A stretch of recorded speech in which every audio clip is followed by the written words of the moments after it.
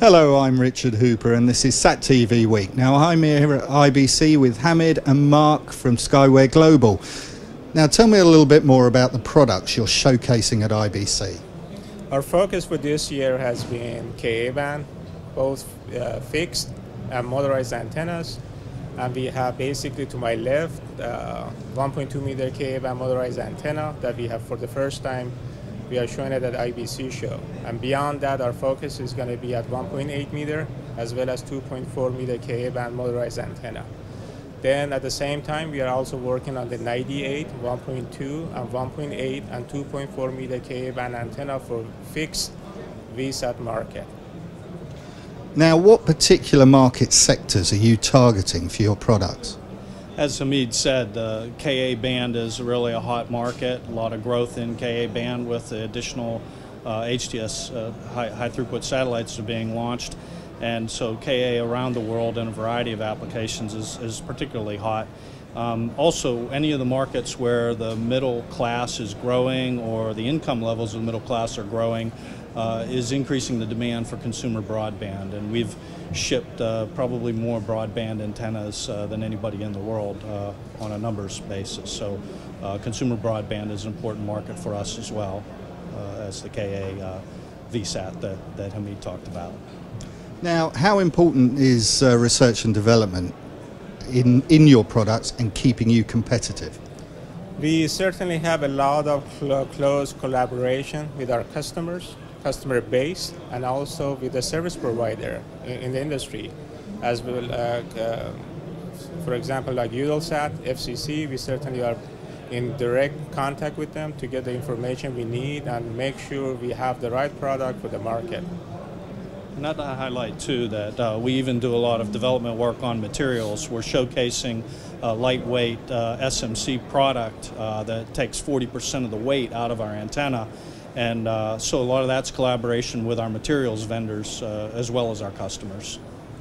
So, how important is quality in this market over price? Uh, go ahead.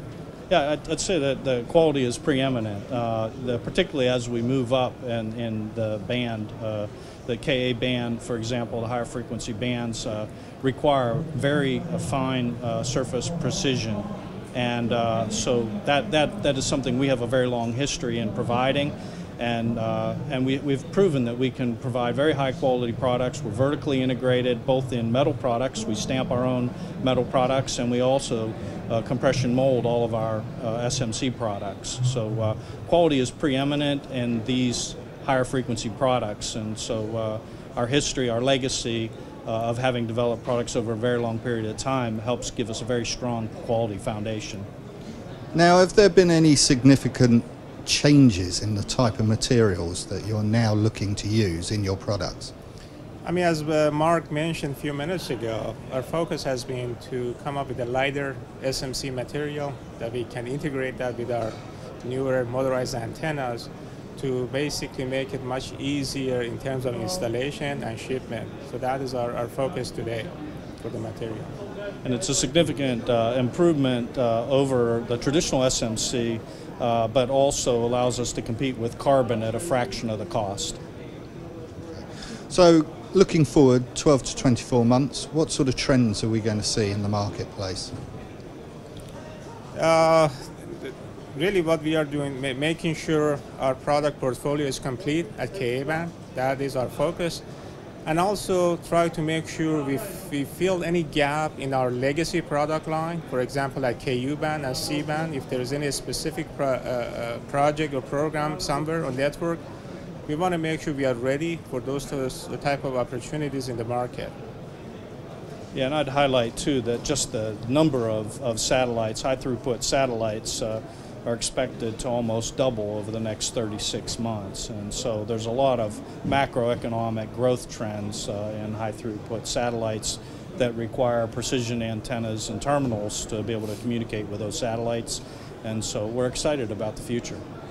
Thank you very much. Thank you.